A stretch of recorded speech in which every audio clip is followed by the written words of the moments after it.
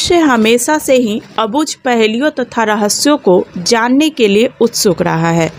किसी भी अधूरी कहानी या अधूरे निर्माण को देख उत्सुकता कई बार आकर्षण में बदल जाती है। ऐसा ही एक रहस्यमय और अद्भुत निर्माण है मध्य प्रदेश की राजधानी भोपाल से 32 किलोमीटर दूर भोजेश्वर रायसेन जिला में यह स्थित है भोजेश्वर मंदिर की। यहाँ भोजपुर की पहाड़ी पर एक अद्भुत और विशाल परंतु अधूरा शिव मंदिर है।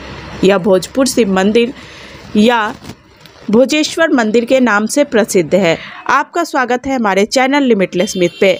आइए हम भोजेश्वर शिव मंदिर से जुड़े सारी जानकारी को इस वीडियो में साझा करेंगे आपसे। इसमें बताएँगे कि भोजेश्वर शिव मंदिर कब बना, किसने बनवाया कौन कौन सी इसकी लोक कथाएँ हैं इसके बारे में और इसकी क्या क्या विशेषता है? तो इसे विस्तार से जानेंगे, उससे पहले आप लोगों से अनुरोध है कि अगर आप महादेव के भक्त हैं तो कमेंट बॉक्स में हर हर महादेव ज़रूर लिखें। इस मंदिर की सबसे बड़ी विशेषता है कि यहाँ पे विशाल शिवलिंग है। अपने आप में अनूठे और विशाल आकार वाले इस शिवलिंग के कारण भोजेश्वर मंदिर को उत्तर भारत का सोमनाथ भी कहा जाता है।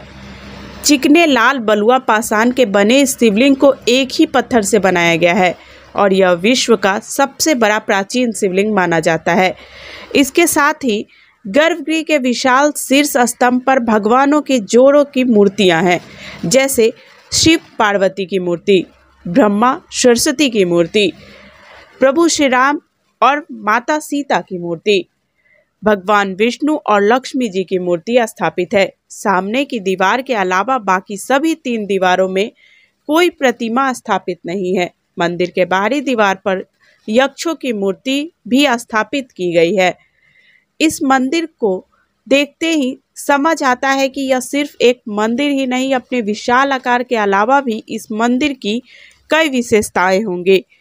इसका विशाल प्रवेश द्वार का आकार प्रकार वर्तमान में भारत के किसी भी मंदिर के प्रवेश द्वार में सर्वाधिक विशाल है।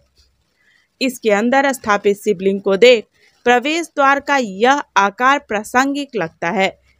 इस मंदिर की एक अन्य विशेषता इसके 40 फुट ऊँचे, ऊंचाई वाले इसके चार स्तंभ है। गर्भगृह की अधूरी बनी छत इन्हीं चार स्तंभों पर टिकी हुई है। साथ ही भोजेश्वर मंदिर की छत गुंबद आकार है। कुछ विद्वानों इसे भारत की प्रथम गुंबदीय छत वाली इमारत मानते हैं। और यह एक सशक्त प्रमाण है कि भारत में गुंबद निर्माण का प्रचलन इस्लाम के आगमन के पहले भी था। इस मंदिर का निर्माण भारत में इस्लाम के आगमन के पहले हुआ था। अतः इस मंदिर के गर्भगृह के ऊपर बनी अधूरी गुंबदाकार छत भारत में गुंबद या शिखर निर्माण के प्रचलन का प्रत्यक्ष प्रमाण भी माना जा सकता है। और इस जगह की एक अद्भुत विशेषता यह भी है कि भोजेश्वर मंदिर के भूविन्यास, स्तंभ, शिखर, कलश एवं अन्य रेखांकन चट्टानों की सतह पर आँसू लेख की तरह उत्कीर्ण किए गए हैं। उल्लेखनीय है कि प्रमाण प्रमार वंश के प्रतापी राजा भोज ने इस विशाल मंदिर का निर्माण अपने विख्यात ग्रंथ सम्रागन सूत्राधार के आधार पर करवाया था। सम्रागन सूत्राधार भारतीय वास्तुशास्त्र से संबंधित ग्रंथ है। इस ग्रंथ में तेरासी अध्याय है, जिनमें नगर योजना, भवन, शिल्प, मंदिर शिल्प मूर्तिकला मुद्राओं सहित यंत्र और यंत्रों के बारे में इकतीसवें अध्याय में वर्णन किया गया है, जिसका नाम यंत्र विधान रखा गया है, जिसमें भारी वस्तुओं को ऊंचाई पर पहुँचाने के लिए आधुनिक हाइड्रोलिक सिद्धांत का भी विस्तार से वर्णन किया गया है। अधूरे मंदिर का अबूझा रहस्य, यह अद्भुत मंदिर अपने आप में एक अबूझा सुलझा रहस्य समेटे हुए है। भोजेश्वर मंदिर का निर्माण अधूरा है और ऐसा प्रतीत होता है कि निर्माण कार्य एकदम से ही रोक दिया गया होगा। इसका निर्माण अधूरा क्यों रखा गया? इस बात का इतिहास में कोई पुख्ता प्रमाण तो नहीं है, पर जन श्रुतियों की अगर माने तो इस मंदिर का निर्माण एक ही रात में होना था। परंतु छत का काम पूरा होने के पहले ही सुबह हो गई, इसलिए निर्माण अधूरा रह गया। इसका कारण अभी तक अज्ञात है, किंतु इतिहासवेताओं का अनुमान है कि ऐसा किसी प्राकृतिक आपदा, संसाधनों की आपूर्ति में कमी अथवा किसी युद्ध के आरंभ हो जाने के कारण हुआ होगा। शायद ऐसा भी हो सकता है कि राजा भोज के निधन होने से भी इस प्रकार के निर्माण का रुकना तर्क संगत प्रतीत हो सकता है। कृषि विद्वान का मानना है कि छत संभवतः निर्माण काल में पूरे भार के सही आकलन में गणितीय वस्तु दोष के कारण निर्माण काल में ही ढह गई होगी और राजा भोज ने इस दोष के कारण इसे पुनर्निर्माण न कर मंदिर के निर्माण कार्य को रोक दिया होगा। इस मंदिर के निर्माण के बारे में दो लोक कथाएँ भी काफ़ी प्रचलित है।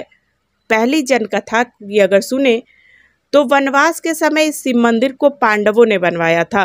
भीम घुटनों के बल पर बैठकर इस शिवलिंग पर फूल चढ़ाया करते थे। इस मंदिर का निर्माण द्वापर युग में पांडवों द्वारा माता कुंती की पूजा के लिए इस शिवलिंग का निर्माण एक ही रात में किया गया था।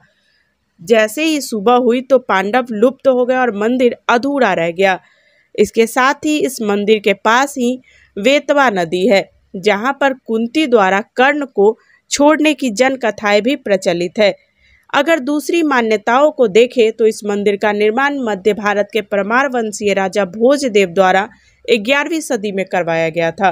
राजा भोजदेव एक अत्यंत प्रतापी और विद्वान राजा थे। उन्हें कला, स्थापत्य और विद्या के महान संरक्षक भी माना जाता था। जिन्होंने ग्यारह से अधिक पुस्तकें भी लिखी है, ऐसा कहा जाता है। यह मंदिर ऐतिहासिक स्मारकों के रूप में भारतीय पुरातात्विक सर्वेक्षण विभाग के संरक्षण के अधीन है। मंदिर के निकट ही इस मंदिर को समर्पित एक पुरातात्विक संग्रहालय भी बनाया गया है। शिवरात्रि के अवसर पर राज्य सरकार द्वारा यहाँ प्रतिवर्ष भोजपुर उत्सव का आयोजन भी किया जाता है। उम्मीद करते हैं आपको ये सारी जानकारी अच्छी लगी होगी। ऐसी ही जानकारियों से जुड़े रहने के लिए हमारे इस चैनल को सब्सक्राइब कर लें और अगर आपको वीडियो अच्छी लगे है तो ज़्यादा से ज़्यादा शेयर करें और कमेंट बॉक्स में हर हर महादेव ज़रूर लिखें। हर हर महादेव। धन्यवाद।